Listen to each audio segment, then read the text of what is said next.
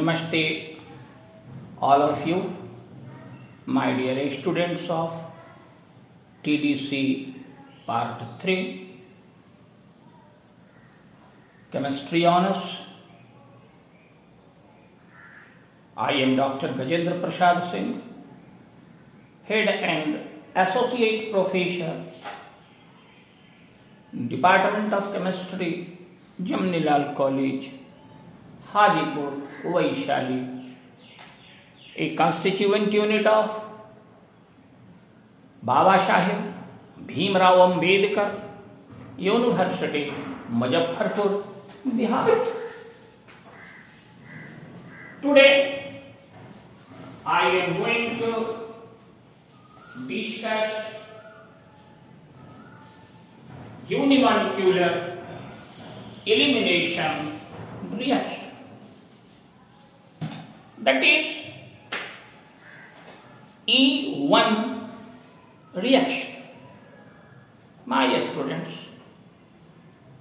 E1 reaction. That means here E1 is to be explained first. E stands for elimination and one stands for unimolecular reaction or monomolecular reaction. So, E1 means unimolecular elimination reaction. I want to make it clear. E one प्रतिक्रिया में ई का मतलब हम लोग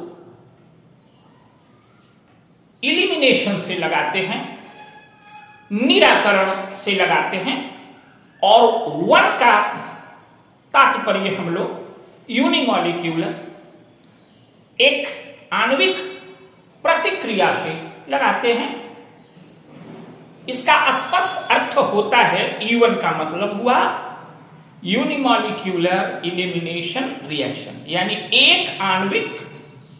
निराकरण प्रतिक्रिया या एक आणविक विलोपन प्रतिक्रिया हम लोग जानते हैं कि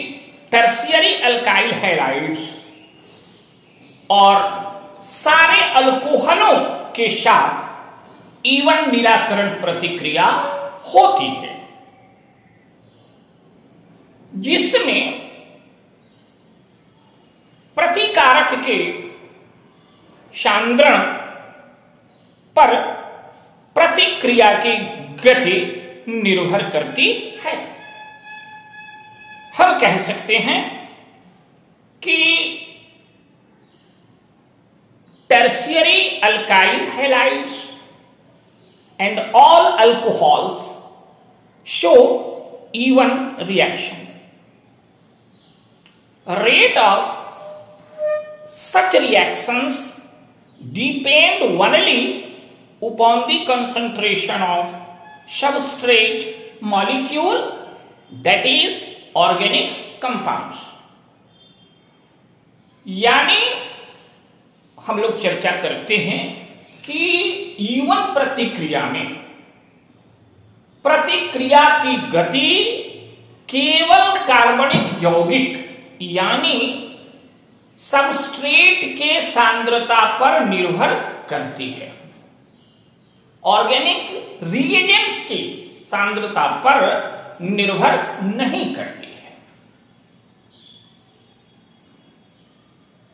इसको हम पुनः दोहरा लेना चाहते हैं कि E one stand E stand for elimination one stand for mono और यूनिमोलिकुलर रिएक्शन इसलिए इवन e का मतलब है unimolecular elimination reaction so E one reaction means unimolecular elimination reaction and second matter is that कि E one प्रतिक्रिया tertiary alkyl halide तथा सारे अल्कोहलों के साथ संपन्न होती है जिसमें प्रतिक्रिया की गति रेट ऑफ सच रिएक्शन जिसमें प्रतिक्रिया की गति केवल कार्बनिक यौगिकों के केवल कार्बनिक यौगिकों के सांद्रता पर निर्भर करता है so we can say that rate of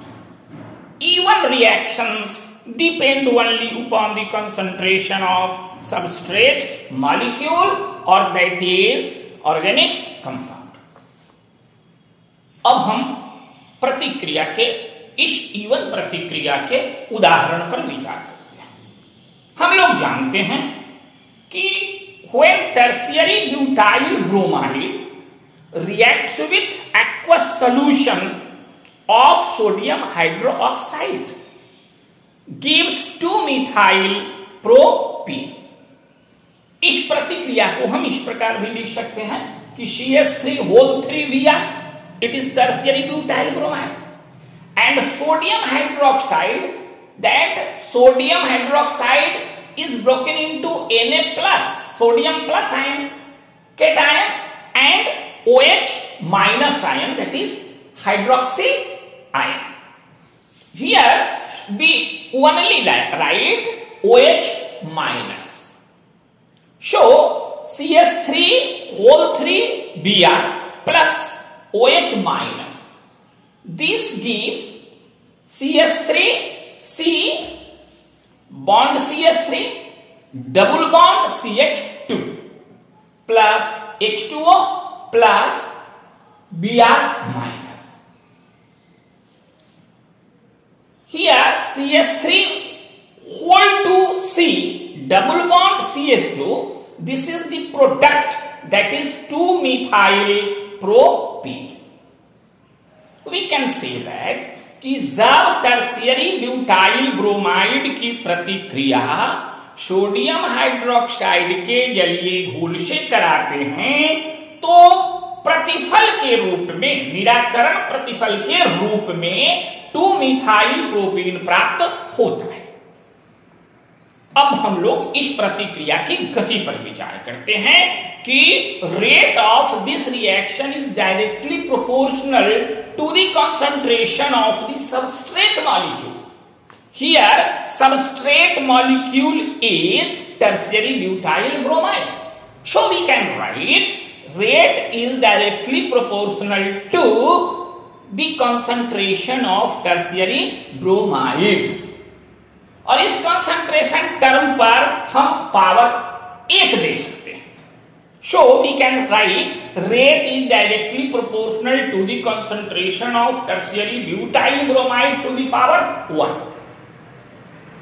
power one लिखा भी जा सकता है पावर वन नहीं भी लिखा जा सकता है अगर लिखते हैं तो इसका मतलब स्पष्ट हो जाता है नहीं लिखते हैं तब भी माना जाता है कि ई पावर वन है अब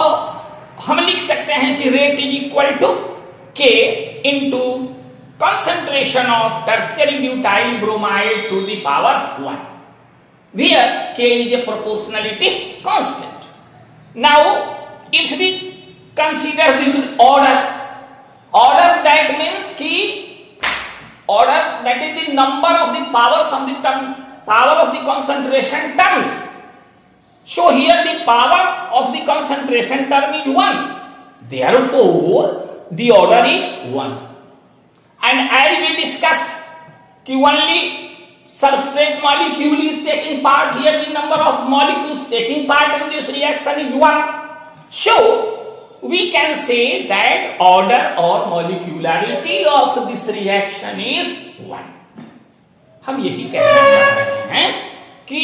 इस प्रतिक्रिया का क्रम ऑर्डर मीन्स क्रम या इस प्रतिक्रिया की आणविकता का मान एक है इसीलिए हम लोग ऐसा बोलते हैं कि dehydrohalogenation of tertiary butyl bromide with aqueous in a solution is a very good example of E one reaction यानी टर्सरी ब्यूटाइल ब्रोमाइड की प्रतिक्रिया सोडियम हाइड्रोक्साइड से कराने पर टू मिथाइल प्रोपीन प्राप्त होता है और यह इवन रिएक्शन का एक अच्छा उदाहरण है unimolecular elimination reaction occurs two steps यह इवन प्रतिक्रिया दो पदों में संपन्न होती है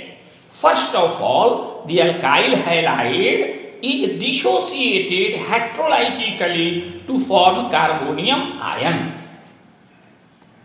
This step is slow and so it is rate determining state of the reaction. यह जो एकान्विक निराकरण प्रतिक्रिया है यह दो पदों में संपन्न होती है प्रथम पद में अल्काइल हैलाइड का विषमांश विखंडन होता है जिसके फलस्वरूप अल्काइल हैलाइड जो है वह विषमांश विखंडन के फलस्वरूप कार्बोनियम आयन देता है that is tertiary carbonium ion is produced and this reaction this step is slow so it is rate determining step of the reaction इसीलिए यह रेट निर्धारक यह रेट गति निर्धारक पद होता है इन दिस एंड प्रथम पद को ही हम गति निर्धारक पद बोलते हैं in the second step base forms and elimination product by removing H plus ion that is proton from adjacent carbon atom. This is the dish स्टेपिल fast और द्वितीय पद में बेस जो होता है that is O S minus product बनाता है O H minus द्वितीय पद में टर्सियरी कार्बोनियम आयन में उपस्थित कार्बन परमाणु बगल वाले कार्बन परमाणु से एच प्लस यानी प्रोटोन का निराकरण कर देता है एच प्लस अपने इस OH minus that is acting reagent से प्रतिक्रिया करके एच टू ओ बना देता है और डबल बॉन्ड का निर्माण हो जाता है इसलिए हम बोलते हैं कि फर्स्ट रिएक्शन जो है वह स्लो है और फर्स्ट स्टेप जो है वह स्लो है और सेकेंड स्टेप जो है वह फास्ट है अब हम लोग इसके मैकेनिज पर वर्क करते हैं बात करते हैं फर्स्ट स्टेप में tertiary butyl bromide that is C S three whole three C bond B यह फर्स्ट स्टेप में यह ट्रांजिशन स्टेट को प्राप्त करता है और ये बी आर माइनस इससे निकल जाता है नतीजा होता है कि टर्सियरी ब्यूटाइल कार्बोनियम आयन का निर्माण होता है C S three whole three plus ion it is tertiary butyl carbonium ion और द्वितीय पद में in second step this tertiary butyl carbonium ion react with OH minus base and a transition state 2 is obtained and that, is, that the reaction is fast to give the product 2-methyl propene that means CS 3 whole to C double bond CH2. This is the mechanism of this reaction. Now we consider the stereochemistry. Here, the vacant p orbital of the carbonium ion and the CH bond which is about to break must be in the same same plane to minimize interaction between vacant p orbital and bond pair of CH. हमारा यही कहना है कि यहाँ जो vacant P orbital of carbonium ion है और C H bond है which is about to break जो कि टूटने को है टूटने टूटने को है must be in the same plane एक प्लेन में होना है मस्त एक प्लेन में होगा जो इनके मिनिमाइज इंटरेक्शन इनके इंटरेक्शन को कम से कम करता है between vacant P orbital and bond pair of CH के बीच में जो इंटरेक्शन है इसको कम से कम करने का प्रयास करता है जिसकी जिसका फिगर दिया गया है this is the figure you note And so here this is the stereochemistry of even reaction. Thank you.